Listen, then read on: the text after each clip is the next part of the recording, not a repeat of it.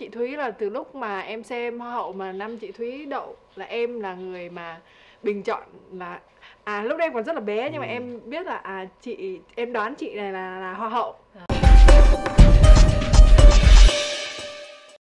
Dạ. tại sao hai bạn lại chơi thân với nhau từ khi nào À, vì tên nó giống nhau thì Ừ. anh Thùy với Thùy nó chỉ là một cái ờ, một cái thanh thôi ấy nên là rất là gần nhau ấy thế nên là đến lúc mà gặp thì là phải thân thôi thân từ cái tên Thực ra thì à, em em em đây biết lý chị do thật đấy em biết chị Thúy là rất là lâu rồi.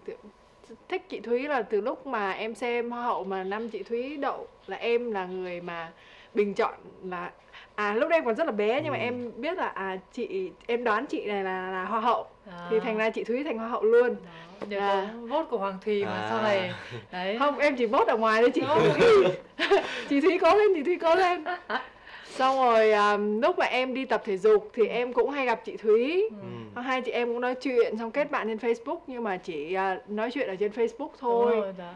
Sau đó thì à, chị Thúy là giám khảo của Hoa hậu Hoàn Vũ 2017 thì bắt đầu chị em mới nói chuyện trực tiếp nhiều Wow. hơn từ lúc đó. Dạ. Ừ, vậy thì Dạ. chắc hẳn là những người bạn thân thì cũng sẽ có những cái câu chuyện thú vị hơn để chia sẻ với chúng ta và các bạn ơi Dạ. các bạn hãy share chương trình này thật nhiều cũng như thả tim và đặt những câu hỏi những thắc mắc nào dành cho hai nàng hoa hậu rất xinh đẹp của chúng ta ngay phía bên dưới nha còn bây Dạ. giờ thì à, chắc hẳn là từ khi mà được công bố là đề cử chính thức của Việt Nam tại Miss Universe 2019 thì lịch trình của Hoàng Thùy chắc hẳn là bận rộn hơn nhiều đúng không ạ? À, lịch trình của em thì à, cũng bận rộn hơn rất là nhiều. À, ví dụ như là sau khi mà em được đề cử thì em đi à, phỏng vấn báo chí nhiều. Mọi tại mọi người cũng muốn biết thêm về cái suy nghĩ và cái con đường của em à, khi mà em tới Miss Universe sẽ như thế nào. Ngoài ra thì em cũng có rất là nhiều cái hoạt động à, cho cái cái lần mà trước khi em tới với Hoa hậu Hoàn Vũ thì em cũng có à, ba cái dự án chính đó chính là Road to Miss Universe một cái là có thể về Thanh Hóa quê của em và một cái nữa là dự án cộng đồng tên là We Ừ. thì ờ, sẽ có ờ, rất là nhiều cái dự án ờ, như vậy đồng hành cùng với em để ờ, cho em hoàn thiện những kỹ năng của mình cũng như là ờ, mọi người sẽ biết về một đại diện của Việt Nam sẽ chuẩn bị như thế nào khi mà bước tới một cuộc thi lớn như vậy ạ.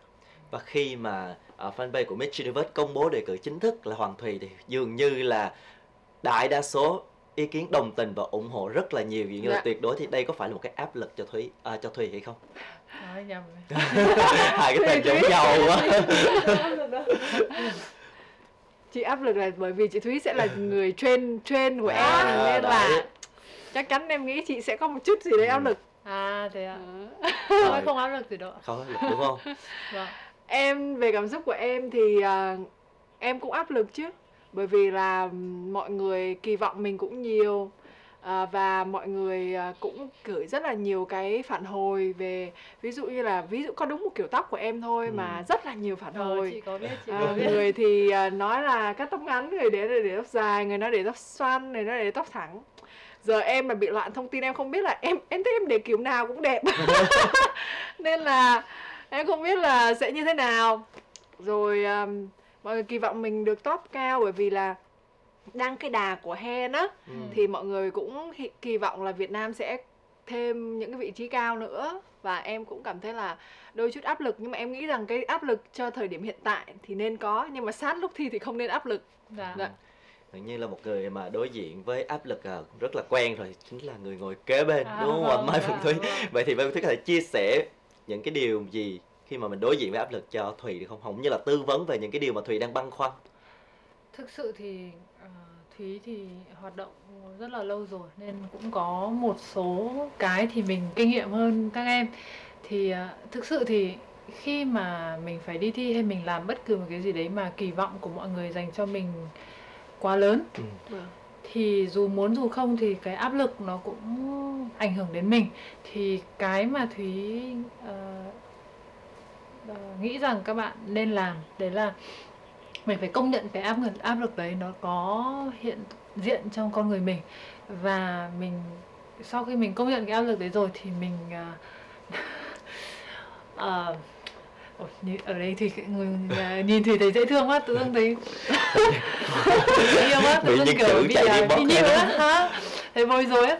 Thì sau đó thì mình mới có thể bình tĩnh trở lại mình mới có thể cảm thấy thoải mái à, dưới áp lực và mình mới có Vâng. thể trở nên tự tin vui vẻ thoải mái. Thực tế thì thúy nghĩ rằng ấy các à, đại diện của tất cả các nước hay là đại diện việt nam nói chung thì mình đi thi ấy, chỉ cần mình có thể bình tĩnh được mình có thể thoải mái được thì tự động tất cả những cái gì hay và tốt nhất của mình nó sẽ được thể hiện. Nhưng nếu mà bạn lại cảm thấy là muốn bạn lại cảm thấy là bạn muốn à, chống lại cái áp lực đấy bạn muốn uh, sống sao cho đúng kỳ vọng của mọi người rồi là bạn muốn làm uh, ờ, muốn cố gắng thể hiện mình quá thì thường là đều thất bại. Bởi vì Ừ. đấy là tâm lý chung của các ờ, thí sinh khi đi thi. Đấy là mình cảm thấy mình phải thể hiện mình mình phải phải thế nọ mình phải thế kia. Chính vì vậy mà mình mình quên mất là mình phải thoải mái. Thì hầu hết thì theo dõi là các thí sinh từ các ờ, cường quốc sắc đẹp thì đều được ờ, training và họ đã sống một thời gian dài tự rèn luyện bản thân. Làm sao mình có thể sống cực kỳ thoải mái dưới áp lực thì những giây phút đấy mình sẽ tỏa sáng và mình sẽ có thể, ờ, thể thành thành công Vâng. Em nghĩ là là cái điều này là một cái điều mà em nghĩ em phải trau trau dồi á bởi vì cái người mà chiến thắng nhất là những cái người mà có một cái tâm lý thoải mái nhất. Đúng rồi, bạn có thể thấy là vào đến ờ, vào ờ, đến top và trong cùng thì hầu như là nó không quá phân biệt bạn đẹp hay là bạn không đẹp nữa vì tất cả mọi lúc đấy mình chỉ ăn thua là ai có ai thoải mái nhất, tự nhất, ai nở nụ cười tươi nhất, Ừ. ai có thể à, thể hiện được là trái tim những con người mình. Nhưng mà làm sao để làm được như thế? Quan Ừ. trọng là mình phải thoải mái là trước. chính mình trước. Nhưng mà áp lực xung quanh như vậy ở trên sân khấu tất khi mà bạn đại diện cho một đất nước và xung quanh bạn là là là là, là 90 cô gái cũng y như bạn thì cái cái sự cái cái tính cạnh tranh nó sẽ lên rất cao. Nên là thúy nghĩ là khả năng khả năng mái. Đấy giữ cho mình ờ, vui vẻ thoải mái trong áp lực là quan trọng nhất thì thế Dạ. nên là thúy mới thấy là như thùy hay như hen ấy thì hay kể cả mâu thủy ấy, thì các bạn quá là quen với ánh đèn sân khấu quá Dạ. là quen với việc biểu diễn và cũng rất là có gu thời trang rất là ổn định và bạn tiếp xúc với cả nhiều à, truyền thông báo chí với cả khán giả thì tất nhiên các bạn biết là phải làm gì để tỏa sáng rồi nhưng quan trọng ấy là là khi đi thi ấy, cái cái cái áp lực cạnh tranh nó cao như vậy các bạn có giữ được mình không ấy? Đấy. Dạ. Thế Vậy thôi thì- chỉ thế thôi. Vậy thì bây giờ một cái câu hỏi nhỏ thôi là hồi nãy Thùy cũng đang chỉ riêng cái vấn đề kiểu tóc thôi Thùy cũng đang phân vân bởi rất là nhiều Dạ. ý kiến. Về riêng với Thúy thì Thúy thấy Thùy đẹp nhất khi để kiểu tóc nào? Thì thì à nhầm thì tôi còn thấy nhầm à, thì à nhầm thúy thấy thùy đẹp nhất ấy là khi thùy để tóc dài. Tôi là tóc Vâng. dài và kể cả khi mà kiểu bới hết lên ờ, như thế này thì Vâng. là đẹp nhất nhưng thực sự thì thùy nghĩ là kiểu tóc nào đẹp còn tùy thuộc vào tâm trạng của ngày hôm đấy nữa Ừ. thì Vâng. em cứ theo tâm trạng của em mà làm tóc ấy như thế Vâng. mới là vâng. mới là đúng nhất đấy Đấy, nói chung là em cũng rất là khó. Tự nhiên mình cũng nhiều khi mình cũng muốn để kiểu tóc này tóc kia nhưng mọi người cứ kiểu thì đấy đấy là thì nghĩ là một cái một cái mà mọi người dễ sa đà vào khi đi thi quốc tế đấy là mình quá quan tâm việc khán giả Nghĩ ở gì? nhà nghĩ gì. Vâng, đôi khi nó sẽ ảnh hưởng đến tâm lý của mình khi đi thi. Trong khi đi thi ý, thì cái vòng phỏng vấn này cái thể hiện của mình trước ban giám khảo này và cái sự tự tin thoải mái của mình trên sân khấu lại quan trọng hơn. Thì thực ra không quan trọng ở nhà trong quá trình thi bạn bị khán giả ở nhà hay khán giả trên mạng phản đối hay là có ý kiến gì miễn là bạn thể hiện thành công trên sân khấu và bạn à, lọt top thế là được Ừ. rồi còn sau đấy thì mọi thứ nó sẽ vâng.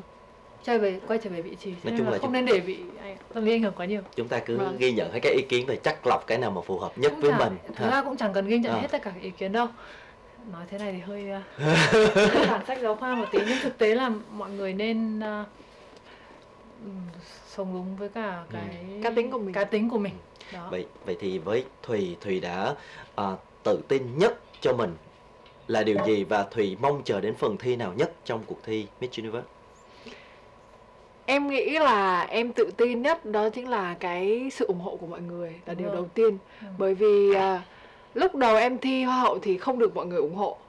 Nhưng sau này được mọi người ủng hộ như thế này thì em cảm thấy là mình quá may mắn.